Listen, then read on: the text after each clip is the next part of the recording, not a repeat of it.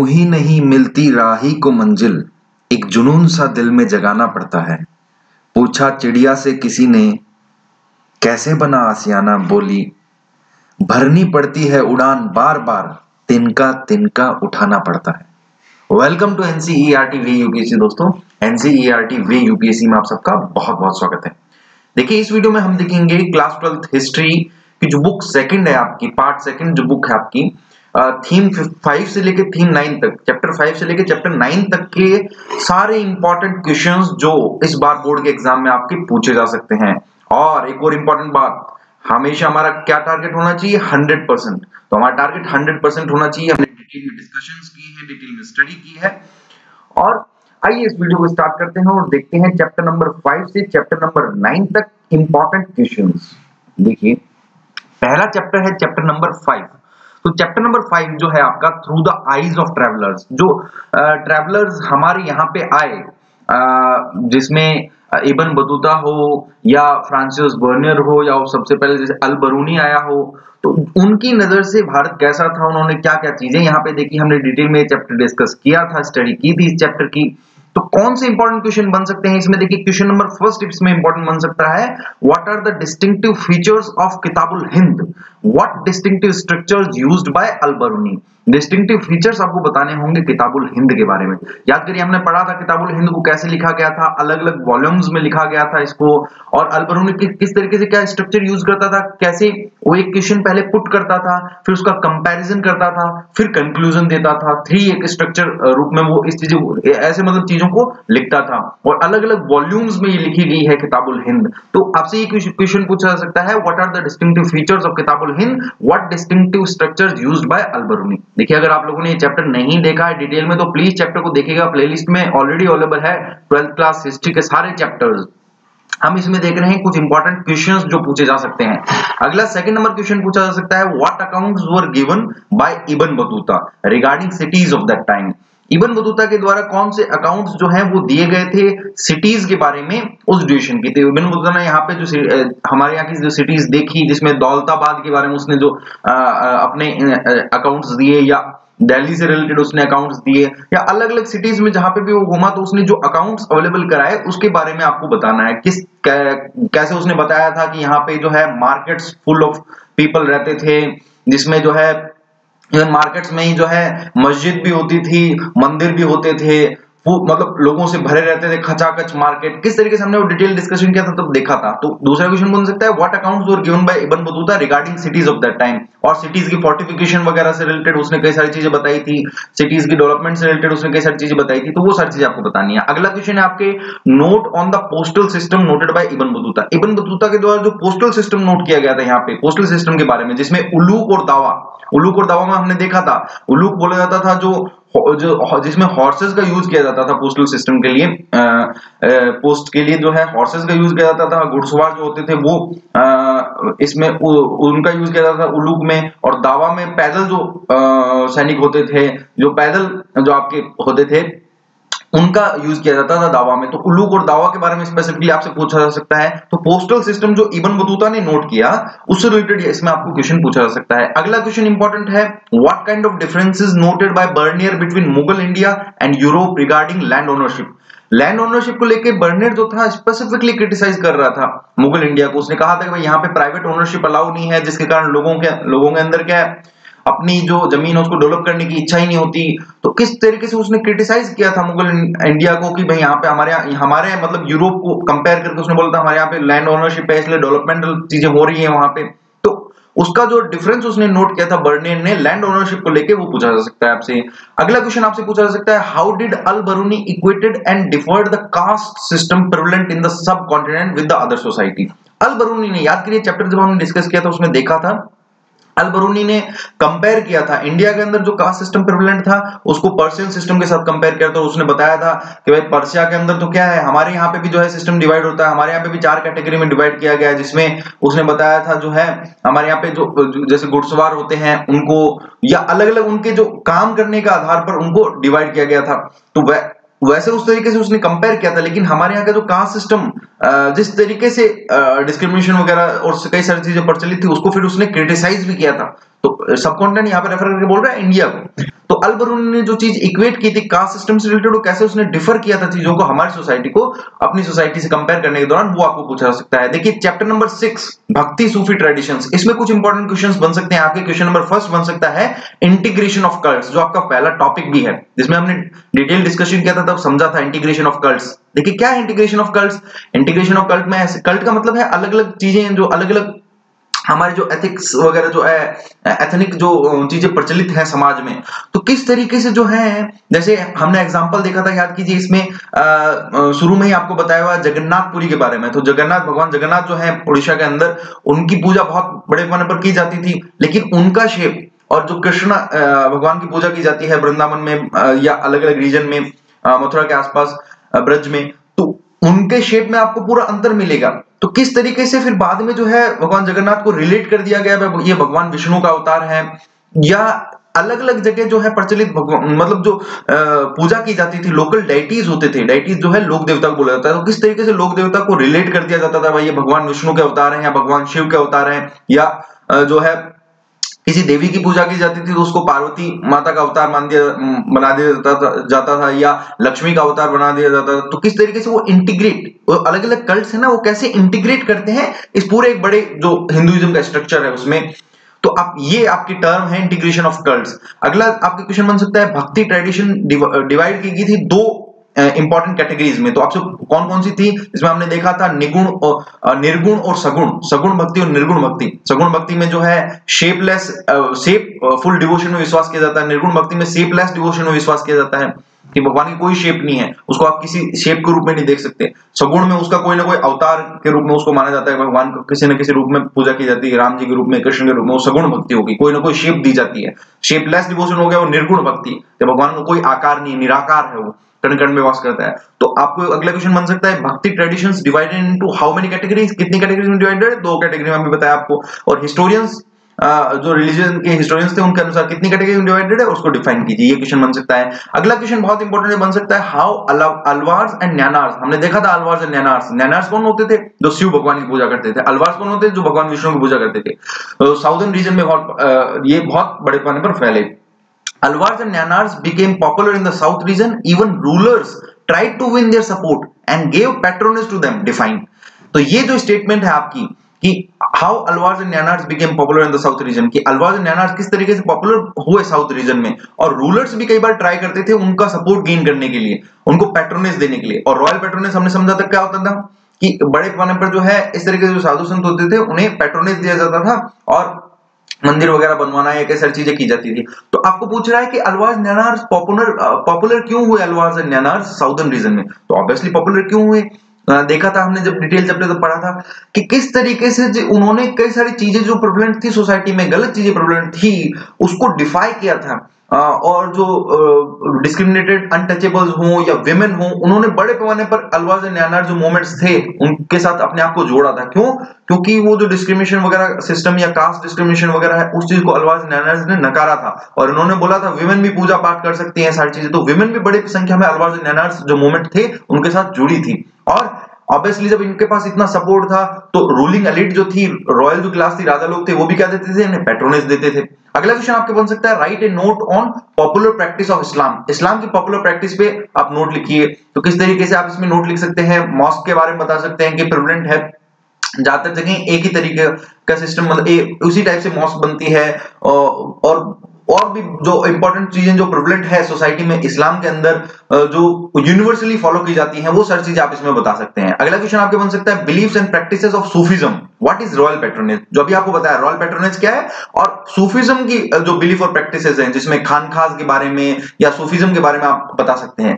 अगला इंपॉर्टेंट देखिए, इसमें बन सकता है आपके बेशरिया और बासरिया सूफी ट्रेडिशन से रिलेटेड सिमिलरिटी और डिसिमिलरिटी बतानी बेशरिया बासरिया। तो बेशरिया बासरिया हमने देखा भी था कि बेशरिया तो सिंपल बोला गया है कि किस तरीके से जो शरिया जो है जो कानून इस्लाम के अकॉर्डिंग है, जो हदीस और कुरान पर बेस्ड है, उसको मानने वाले होते हैं बासरिया, जो उनको उस तरीके से बड़े पैमाने पर डॉगमेटिक अप्रोच के साथ नहीं मानते हैं। तो इनमें सिमिलरिटी और डिसिमिलरिटी बतानी है। देखिए, अगला चैप्टर है आपके chapter number seven imperial capital of Vijayanagara इसमें इंपॉर्टेंट क्वेश्चन बन सकता है। पहला, कि बैटल ऑफ़ तालीकोटा जिसको राक्षस तंगड़ी बैटल के नाम से भी जाना जाता है, राक्षसी डंगड़ी बैटल तो उसके बारे में आपको एक नोट लिखने को बोला जा सकता है। तो हमने देखा था कैसे अहमदनगर या गोलकुंडा, बीजापुर, उनके तीनों ने मिलकर जो है विजयनगर एम्पायर के राजों को हरा दिया था।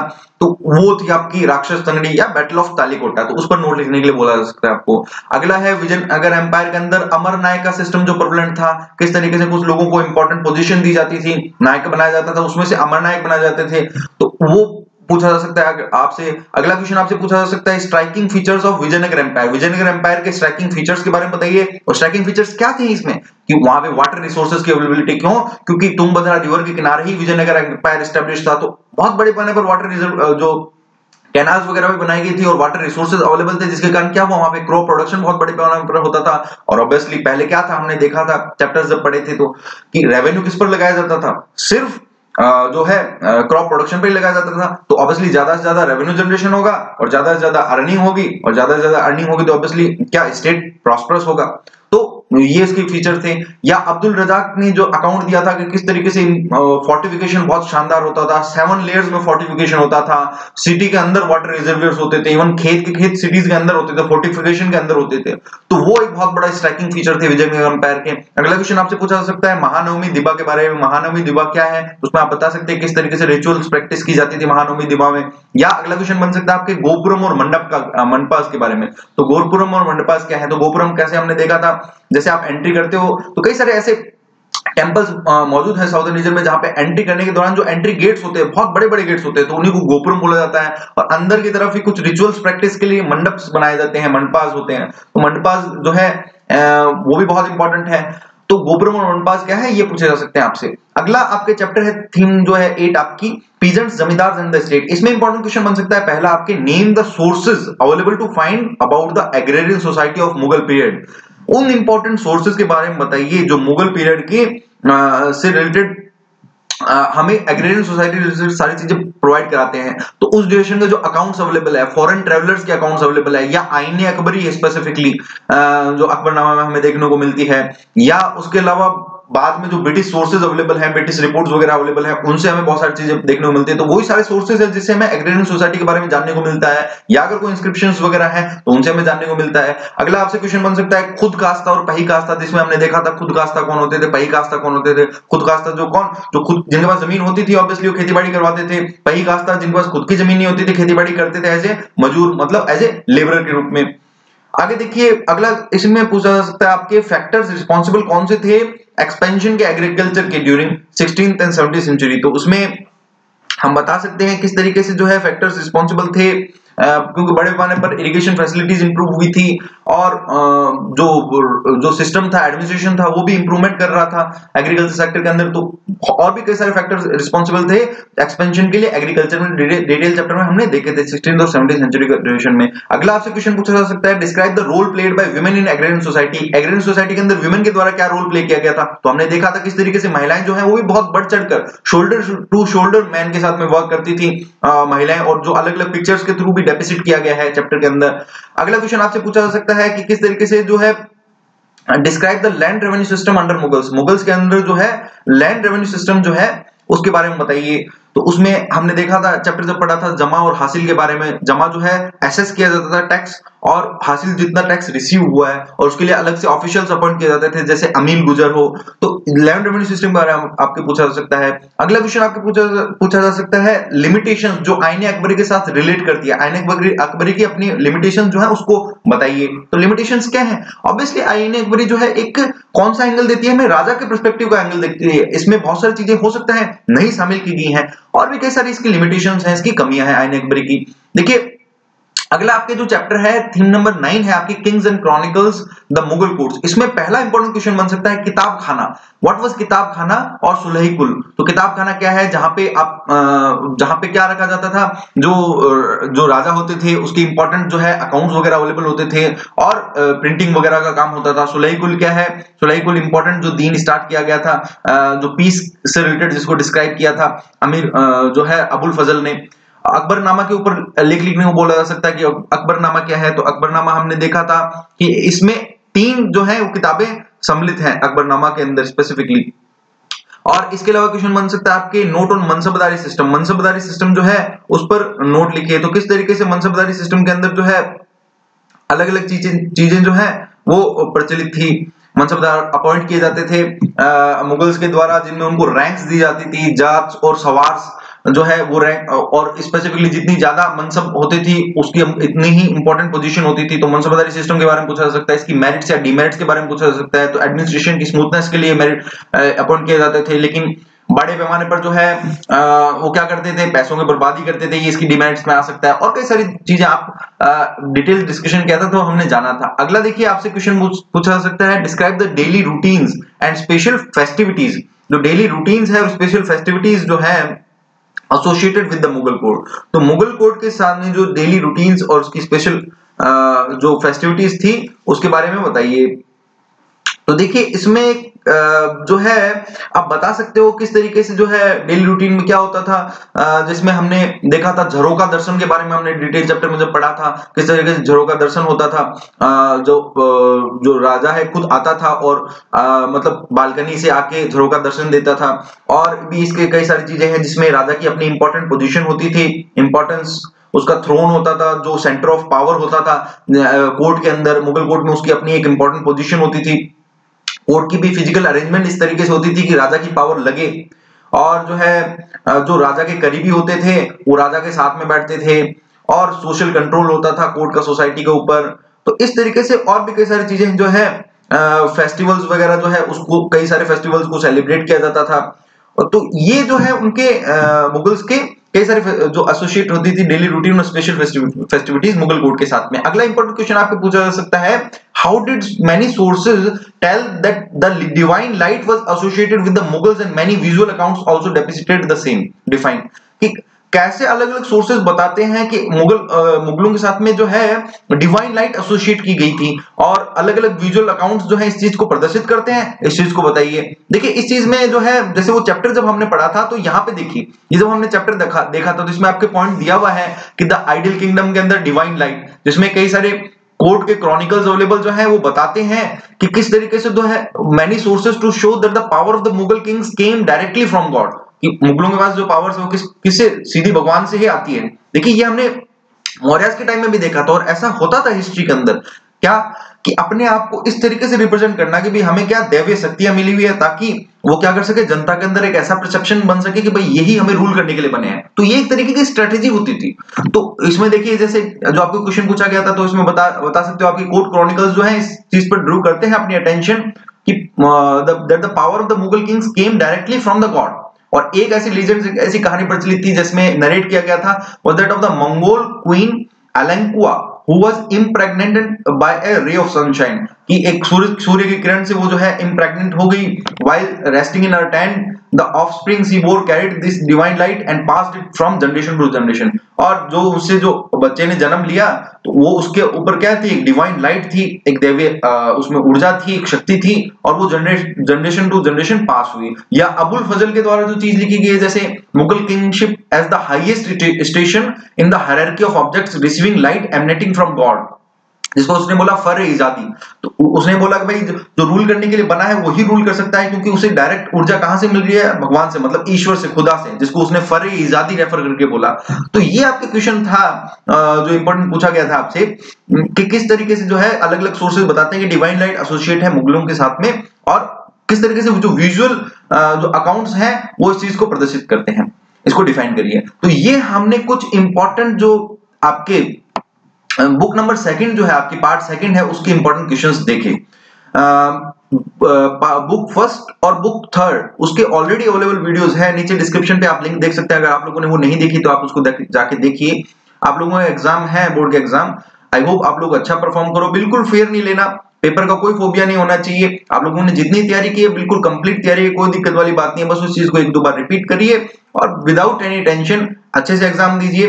और अच्छे से परफॉर्म कीजिए। हो सकेगा तो मैं एक मैप की वीडियो भी जल्दी लाने की कोशिश करूँगा और उसी के साथ ही साथ में जो इसमें देखिए दो तीन क्वेश्चन आपके ऐसे भी बनते हैं जिसमें कॉम्प्रिहेंशन टाइप आपसे दिया जाता है। उसमें कॉम्प्रिहेंशन टाइप आपको एक पैसेज टाइप दिया जाता है और उसमें आपसे पूछा जा सकता है कि क्वेश्चन एक पैसेज दे दिया जाएगा और उसमें क्वेश्चन पूछा जाएगा। तो वो बहुत बहुत इजी नंबर के होते हैं। बहुत इजी मतलब नंबर्स हैं। उनको तो बिल्कुल भी जो है लूज नहीं करना। और हमारा तो वैसे भी टारगेट क्या है? हंड्रेड परसेंट का टारगेट और आप लोग ये सब कर सकते हो। तो आई होप आप लोग अच्छा परफॉर्म करो। Thank you thank you very much